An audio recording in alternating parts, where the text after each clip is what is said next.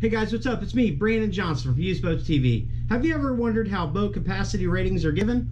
I know I have. I first started selling boats 18 years ago, and when I first started, about the only things I knew were that boats were pretty and pretty damn expensive.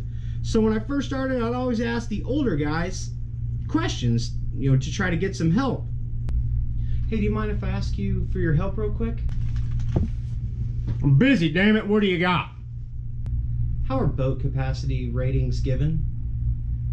Well, son, it's like this. Boat capacities are given by the manufacturer based on certain criteria such as weight and width and draft and freeboard and depth. And however you add that all together, that their manufacturer will tell you how many seats that their boat can have in it. Alright? Now, go ahead and get out of my office right now. I'm working on a 678 foot carver for sale. I'm about to sell it. Watch and learn, son. And I'm not really sure if they would give me a valid answer or literally just make something up. They would also tell me things like this Brandon, I'll tell you something right now. If your customer ain't wanting to spend a $100,000 at least, I ain't no reason to get out of your damn chair. So, although I did go with the capacity explanation for many years, obviously it wasn't right. In fact, it was totally wrong.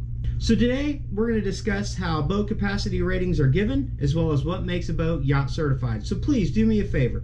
This is my YouTube channel, which is Used Boats TV. I sell boats here at Heartland Marine. If you like this video, be sure to subscribe to my channel by clicking below, hitting the subscribe button, or waiting to the end, clicking my face. It'll be in the middle of the screen. The purpose of this channel is to provide boaters and boat salespeople, whomever you are, with more information to help enhance your ownership or selling experience.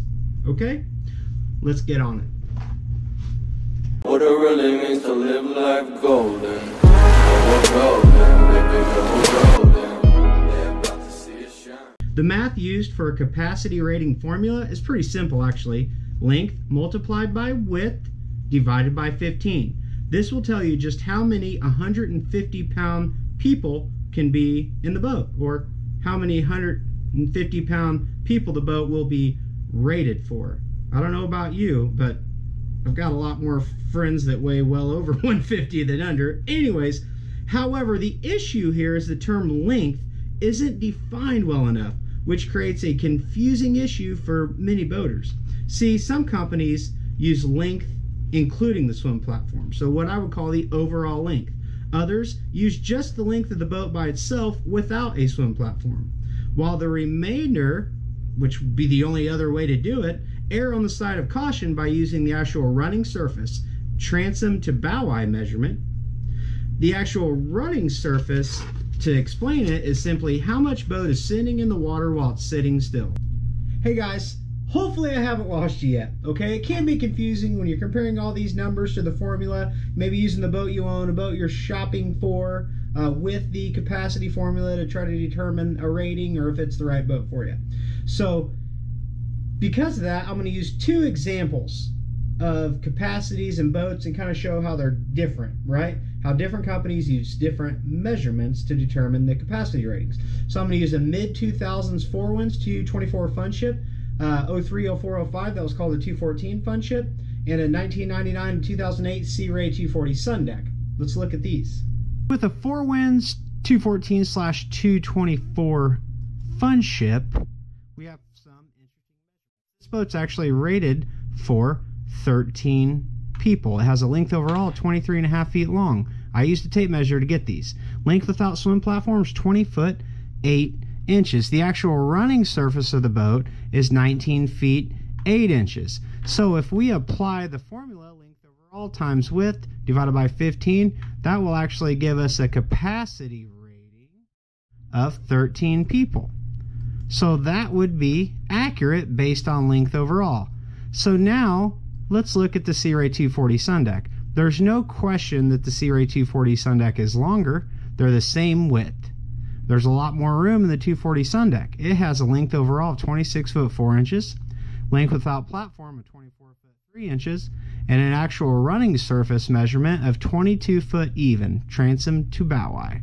So using our formula length times width divided by 15, we get a capacity rating of 15 people. That would be right. Winner, winner, chicken dinner, right? Uh, sorry, that's wrong. So here's a true example of how companies differ in their measurements. So if you were to apply the length without swim platform, you'd still be wrong. But if you apply the running surface times the width of 8.5 feet wide, do the math, you'll get a capacity rating of 12.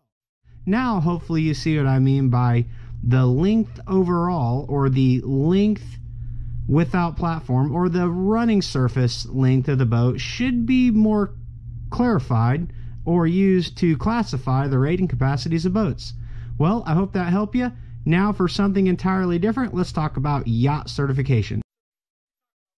Documentation is, let's talk about what it isn't. That means you can't sink the some bitch. All that means is it can ride in the ocean. None of that's right. Damn it, will you just leave me alone? As fancy as it sounds, what it really means is, well, two things. Number one, it just meets certain criteria. And number two, it's just a label given by the National Marine Manufacturers Association because it meets ABYC standard. Let's talk about the mathematical formula that you have to use to determine if a boat's documented or not, though. So to find out whether or not the boat is documentable, this is the formula. Length times depth times width divided by 100 multiplied by 0.67. That will give you the gross displacement. Then, if you take 80% of your gross displacement, if that number is equal to or greater than 5,000, your boat is documentable. Therefore, you can put as many people in the boat as you would like, up to the captain's discretion. Well, that's it. I sure hope you like this video. Be sure to subscribe to my channel. We make a lot of training videos and how-to videos. Thanks for listening. Models popping bottles.